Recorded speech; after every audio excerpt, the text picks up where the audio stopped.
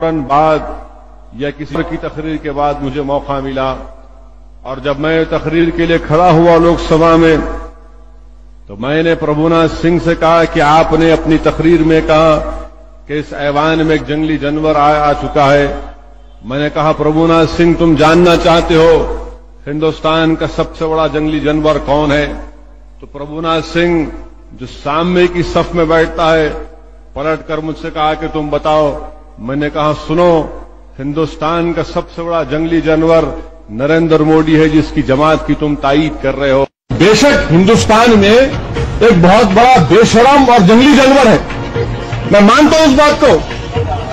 मैं मानता हूँ उस बात को, सर, कि हिंदुस्तान में सबसे बड़ा बेशरम और जंगली जानवर अगर कोई है तो नरेंद्र मोदी है। इस ये क्या हो रहा है भैया बैठ भैया बैठ क्या है ये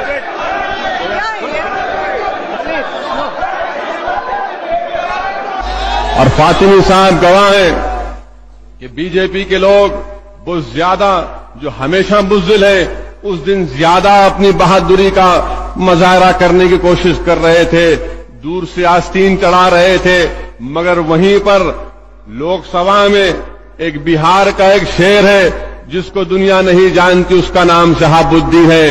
वो शहाबुद्दीन और फातिमी उठकर आए तो तमाम के तमाम लोग जहाँ पर खड़े थे वहीं पर बैठ गए।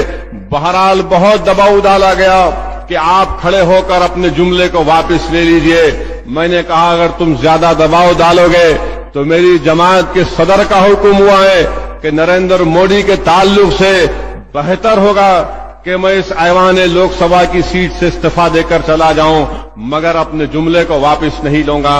बहरहाल अजीजान मिल्लत बताना यह चाह रहा था कि सालार मिल्लत बेशक एक बेबाक फायद थे